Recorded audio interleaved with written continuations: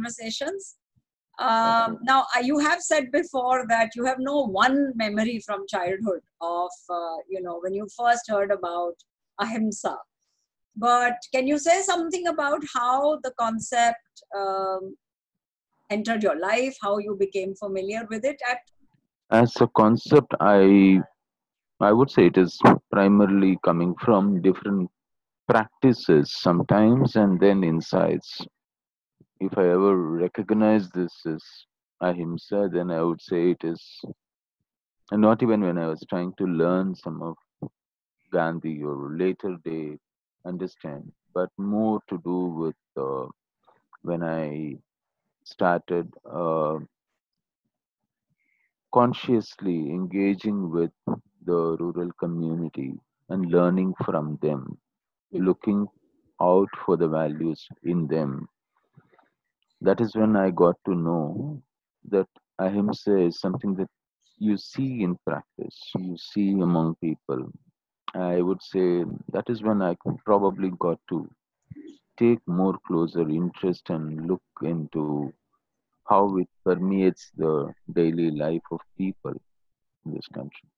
this has played a bigger role in your life than the legacy of your grandparents who were involved in the freedom struggle. Mm, I would say so, man. It is as a family we were um, very different. You know, um, uh, freedom was very important. All kinds of journals, magazines. As kids, I remember the entire the household. Everybody studied. Everybody read books and all kinds of things we got exposed to a very young age.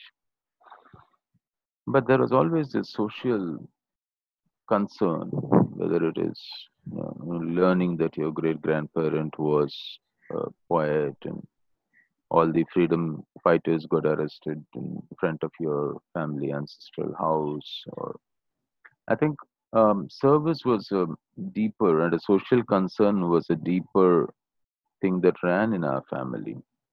But um, we never understood. Like i said practices was there but we never understood the concepts for me that came i think after i started engaging consciously with the communities in tamil nadu in particular i haven't been much outside. What was your But- background professionally, Ram? Can you tell us a bit about your education and what you set out in life to do? like everybody else i got into engineering and management i found it's easier to make money and then to travel and buy books which is my only passion those days. You could buy books with the money you make. You work for 15 days then you buy books then you travel around and it was fun. So then of course i got into corporate for a brief while. I was with a multinational corporation. then i quit because um, several reasons. I met my wife rama and, uh, she was an activist and i thought i mean weekends trying to work with the activists. And when we got engaged i decided it is both of us together. I mean we decided that it's not worth working for corporate sector any longer. Sometimes when they ask me you know what did you do? Tell them well i just followed my heart. I really didn't know. I didn't have much savings then nor do i have now. Security is the biggest falsehood we all buy into there's nothing called security. I mean the more you work the more you are useful. Yeah, people take care of you. Society comes to you they takes care of you. In your own journey, uh, after or during your uh, disenchantment with the corporate mainstream, where did Gandhi and Ahimsa and Hind Swaraj come into the picture? Mm, yeah, I should confess that, like a typical urban middle class kid, I had no great reverence for Gandhi uh, because in school you're taught. I mean, the way we teach Gandhi in school is such absurd. If anything, we are told to hate Gandhi. Everything Gandhi is mm, to be looked down upon. That's how you get to be presented. Then when we moved to the social space, it was um, meeting with Dharampal, I think through Balu CIKS, and then subsequently reading a bit of Dharampal. And uh, much later, um, we got an opportunity to go work with him. My wife and myself, both of us, we went to work with him in Sevagram. We got a, um, and when we were there, uh, then it was Dharampal who took me to Bapu Kuti, introduced and spoke about the place. I had read about because we were going to go there. We had read a bit about him, uh, the place before, and I read Hind Swaraj sitting in Bapu Kuti, and he gave it to me and he said, "If you want to understand Gandhi, read this book." And I think I must have read it first. First time I read it, I probably read it at one go, sitting one afternoon Bapu Kuti end to end and uh, it was fascinating. And uh, it was around the time I think I had met Claude Alvares. I had read Bapu Kuti, or I was just reading Bapu Kuti. It was I remember carrying that book with me. Uh, Bapu Kuti was there. I was getting to learn C.V. Seshadri's work at that time, uh, decolonizing history. 98, I quit the corporate, and um, 98, late 98, I met Claude and the entire organic farming movement and I think the sequence is also very important because if I had not been exposed to the grassroots activists, organic farming, and other people, we could have easily gone the research academic route if I had met Dharampal earlier. I had already met these people and been introduced to what people were doing with this knowledge on ground. Then we, we got exposed to the complete works of Mahatma Gandhi was that also when you became more familiar with or started thinking about ahimsa and its challenges?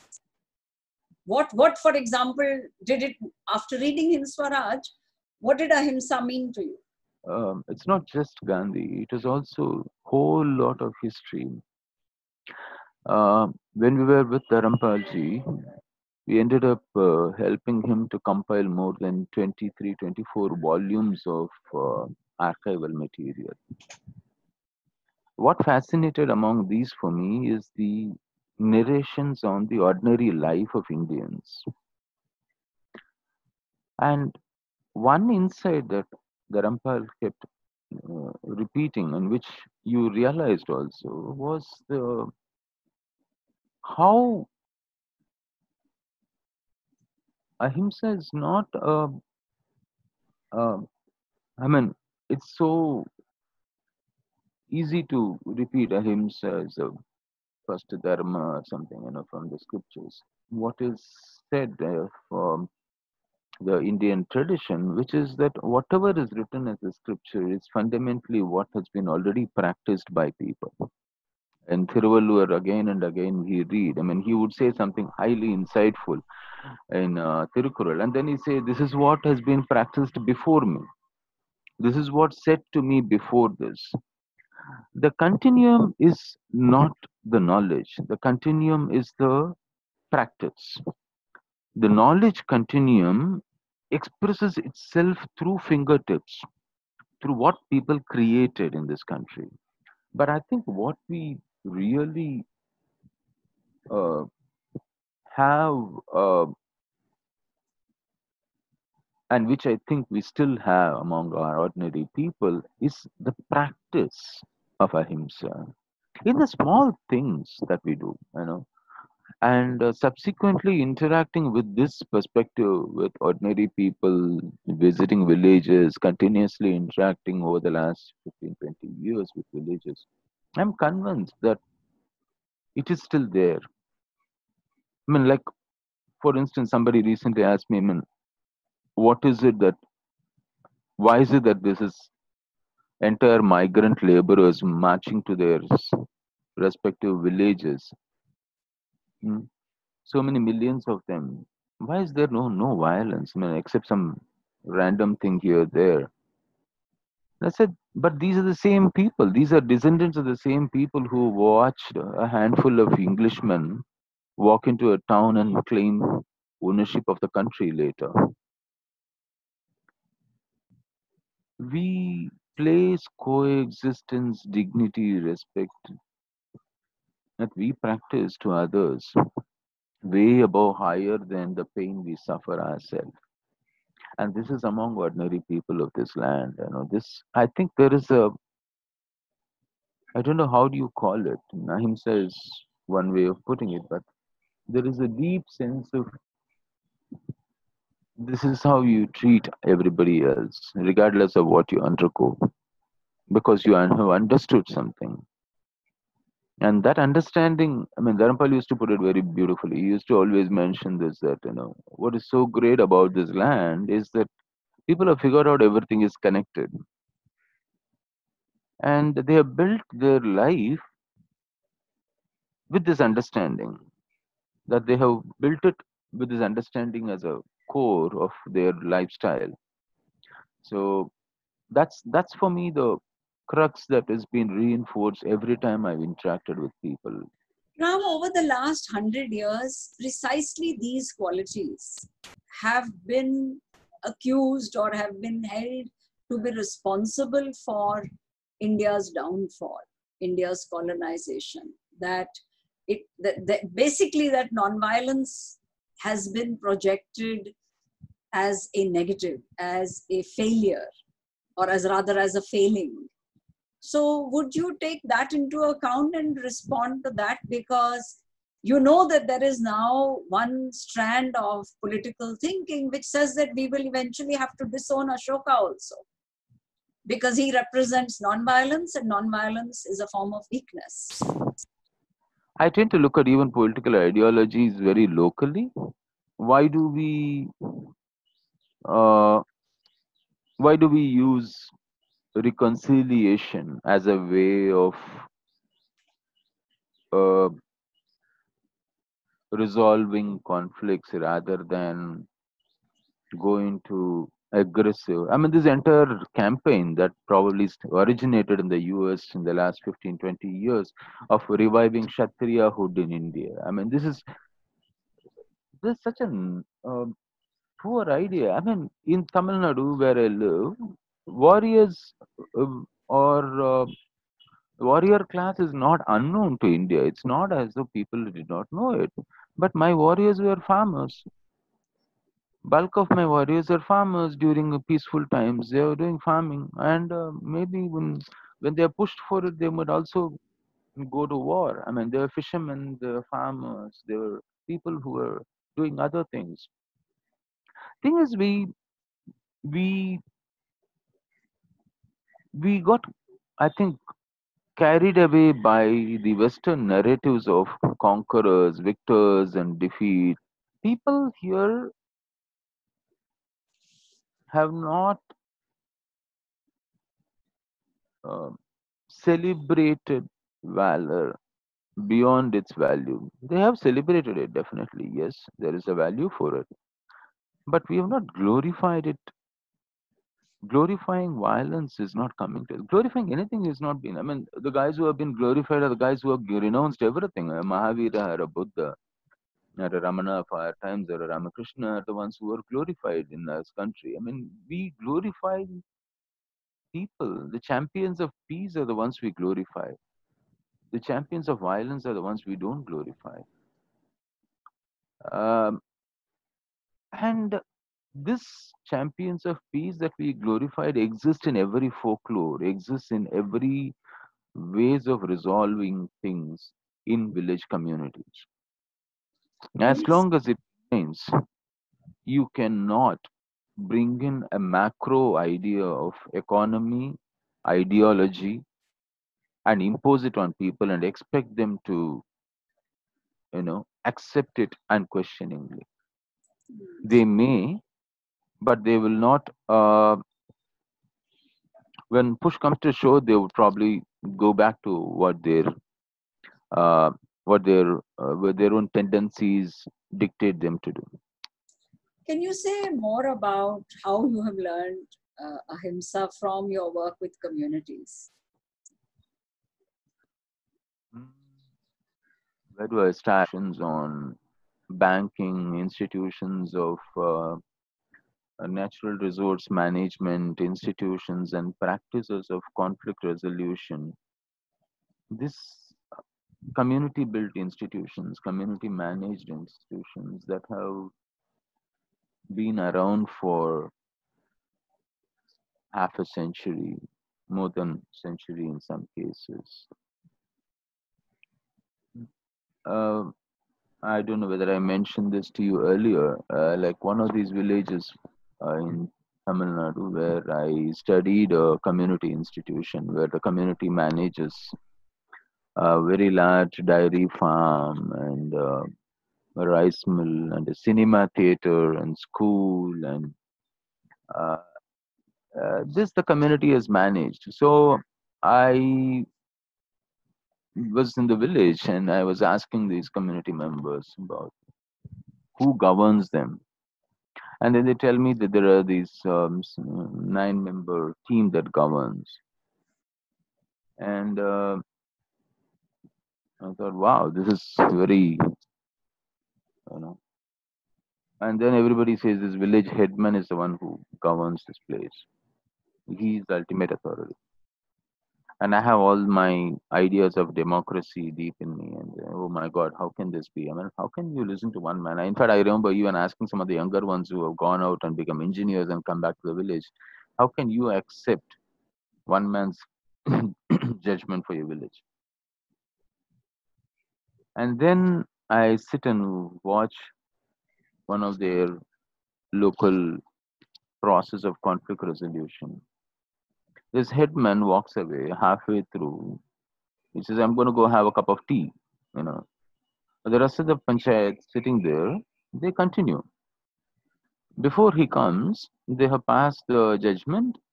Uh, it's a domestic violence or something like that. I mean, they were given a ruling, and the man was asked to pay a fine and uh, bow before the god and promise that he will not inflict violence on the lady.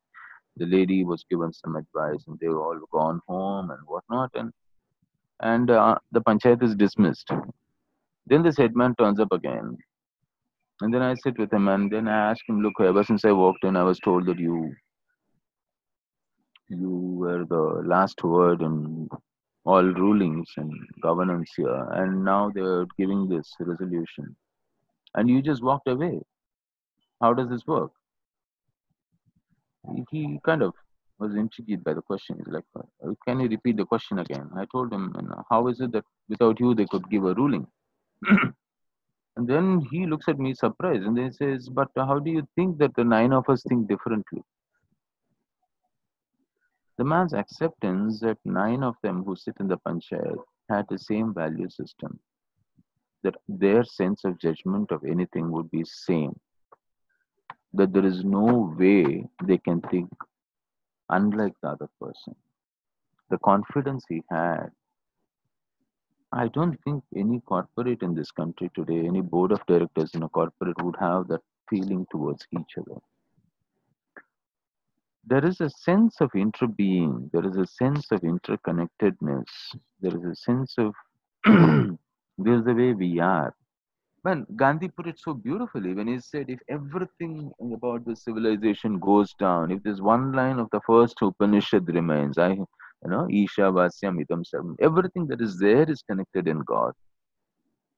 And for this Gandhi statement, for me, becomes more powerful because not because it is in the Upanishad or not because Gandhiji says this, but because sitting in a small village listening to experts talk about sustainable development i had this village headman who sat there for two days.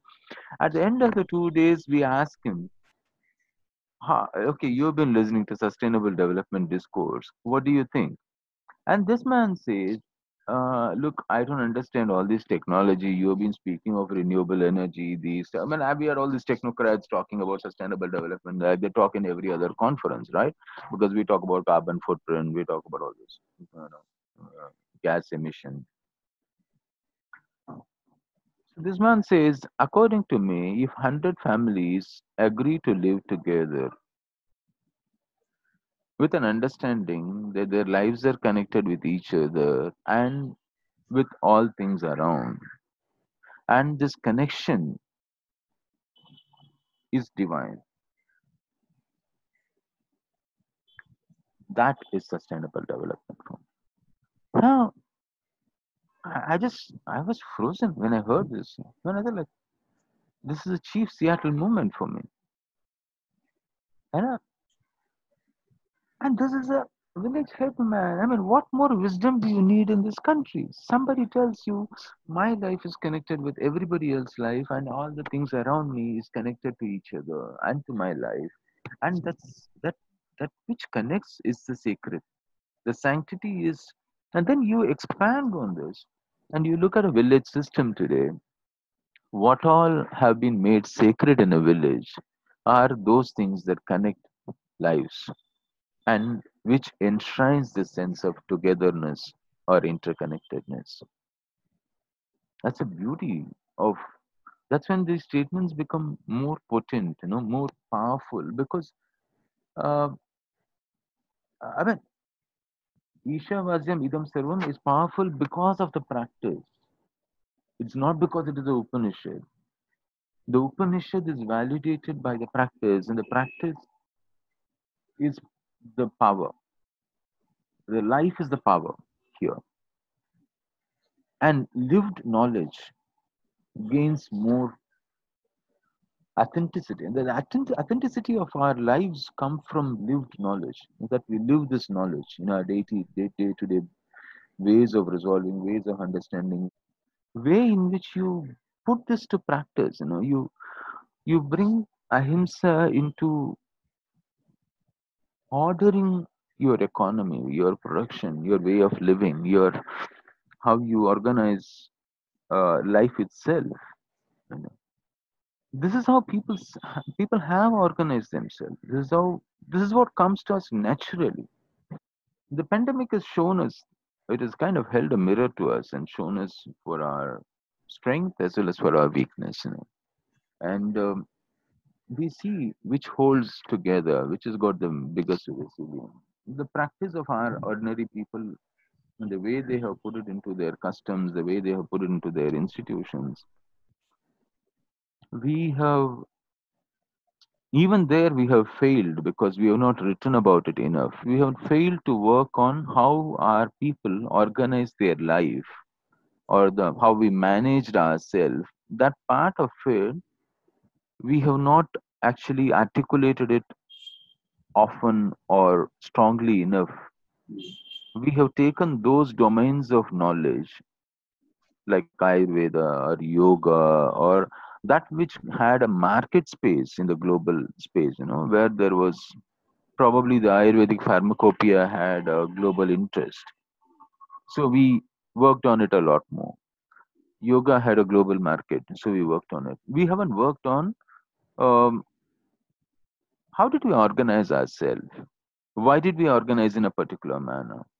Why is it that we uh, why is it that uh, for instance uh, uh, a dairy unit run in a small village when i ask the uh, functionary the man who manages it the secretary when i ask him what is your biggest achievement he tells me for 35 years every week on wednesday we have given the remitted the amount to the dairy farmer without a break.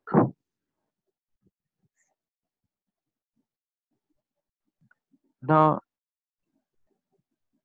if this is something that you have achieved for 35 40 years in a village enterprise why do you need to study vendor management from a european model or a japanese model.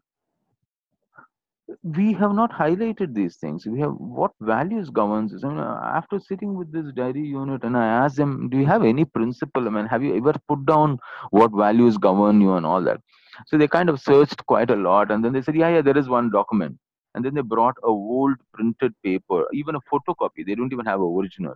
A photocopy of an earlier printed paper which articulated these values and um, there are six or seven values. And this is from a community that was uh, traditionally ostracized in society. We're called untouchables. And uh, they have these principles that have been laid down by one of the educated ones in their community. And the first rule reads uh, we were once called untouchables in this country so in our uh, wealth creation and practice of economy, we will never ever treat anybody else as an untouchable or discriminate against anybody. The next rule reads, we will work for the betterment of all humanity. I mean, this is from people who 60 years, 70 years before did not, I mean, each one of the rules is basically a wisdom that is coming from the voice of the oppressed. They are not talking about let's now got we got the money now let's go and you know ramage everybody you know let's go show them. When people talk within their communities, they talk about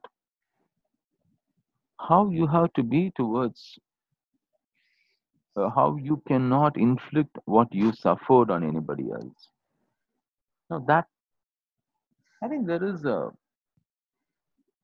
that's why I think that this this comes naturally to our people. I mean, this is the way we are. Like I think Gandhiji somewhere says, you know, you, this is India. The way we work and think and talk is around ahimsa. It comes to us naturally, and uh, that is how we should. That is the tool we have to use because that is all we have. You know.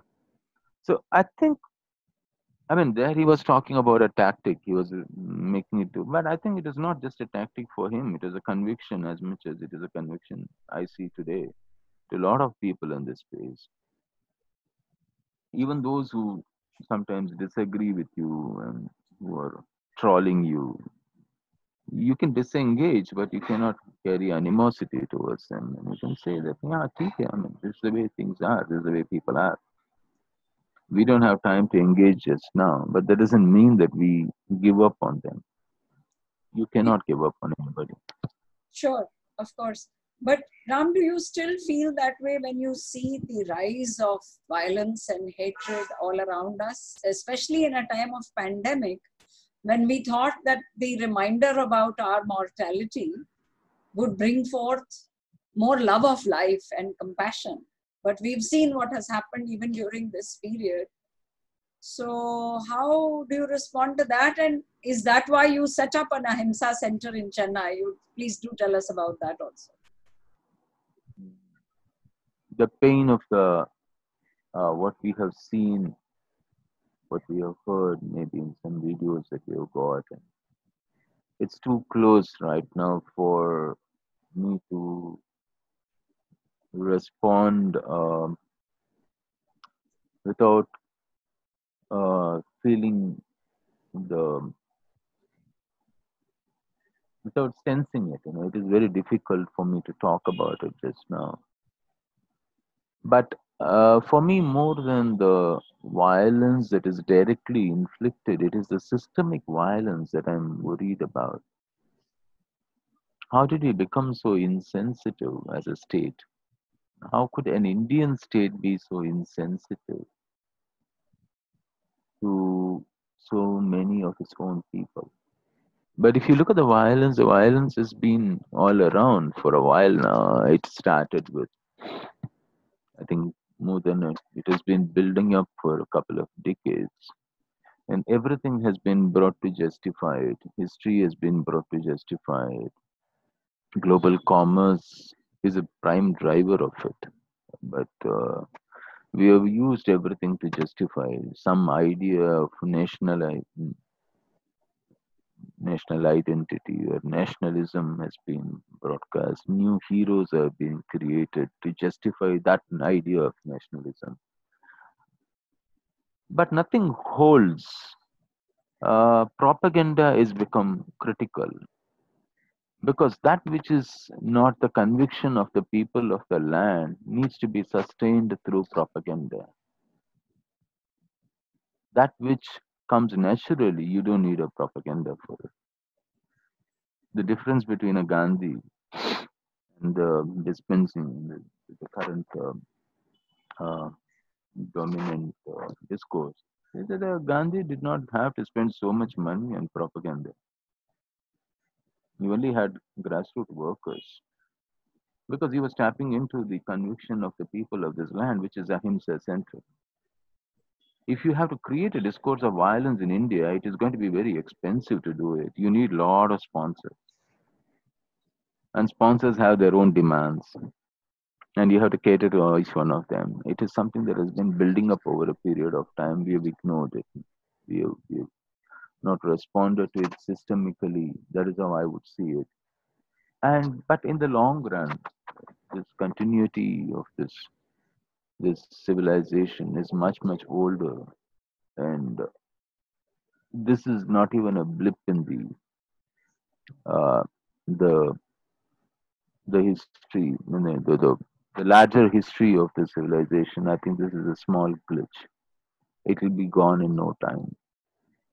I i i i have the confidence that it will be gone in no time. I mean i'm uh, because we tend to i mean we tend to restrict everything to our own lives. We want to see, I mean, even people among activists who say, oh my God, no, I don't see this change will happen in my lifetime. What's your lifetime after all? I mean, you live 60 years, 70 years. What difference does it make to the continuity of this civilization that has run for 5,000 years, God knows how much longer? I mean, we are nothing. What we create is not important. What we practice is important we often identify ourselves with our accomplishments. This is what we created. This is what we institutionalized. No, it is how we practice it.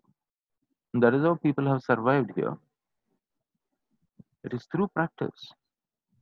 You practice these values in your daily life, in the way you run your institution, in the way you enshrine how you treat others in your institution, or you sustain your civilizational passport by practicing certain things. You know it's it's a your own renewal of or your own vote of confidence of what the civilization is. And today i see the promise in how many million people if the million people who have walked uh, and suffered during the pandemic the abandoned the people. I mean i prefer to call them the abandoned rather than the migrant laborers these are the abandoned people of this country. Let's face it. They were abandoned even before they started walking. You know, and uh, but what we have seen is this outpouring of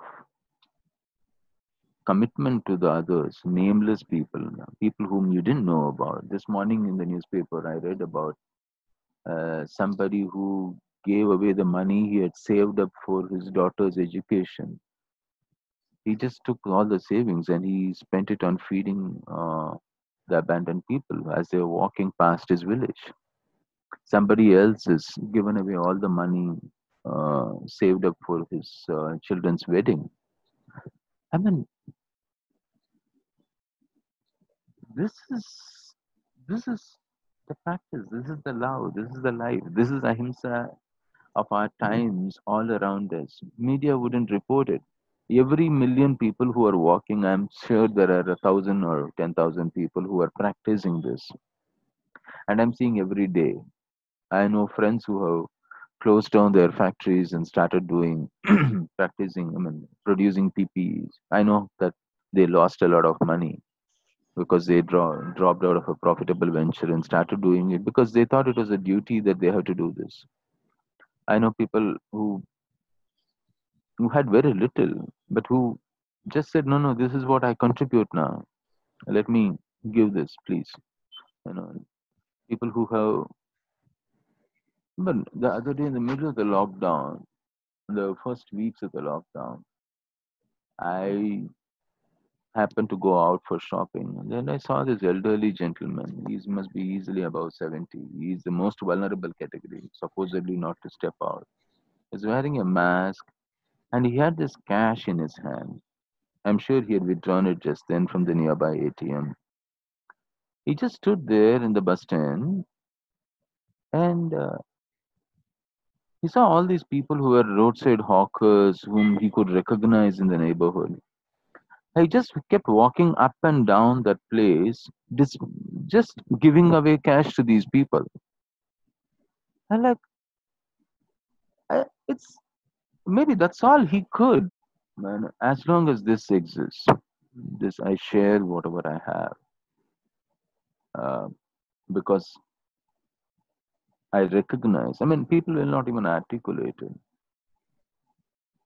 It's because because you recognize this for me is the deepest recognition at the deepest level it is a recognition that whatever is there around is there because of you and what you are there because of them and that interconnectedness is sacred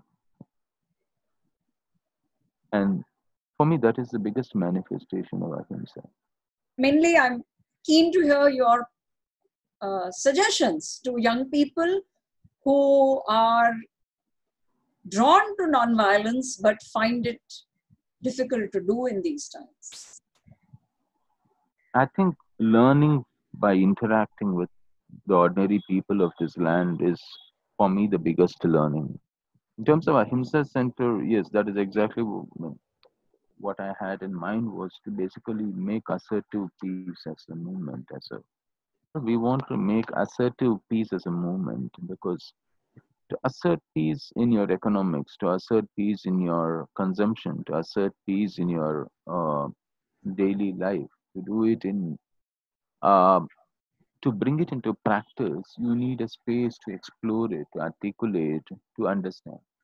But at this point, I am looking at this as a space which will provide people with an opportunity to articulate, to exchange, and look at ways and means of sharing around uh, practicing assertive peace.